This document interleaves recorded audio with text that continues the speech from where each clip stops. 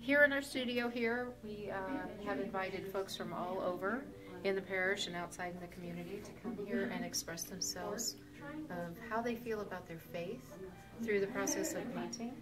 And we can kind of look around here as we go through the classroom.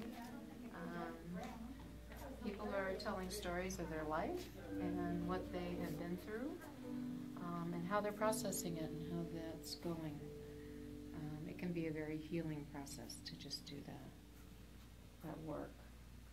And everyone has a unique story and a unique style, just like dressing yourself or your signature. It's going to be a very unique way of telling something. Um, so, we give people an opportunity to take the color and the paper and go for it to show us how they're feeling about their faith today or in the particular chapter they are in their life some of us are in a good place and some of us need to work a little bit at feeling better about something and maybe the painting process can reveal what those areas are.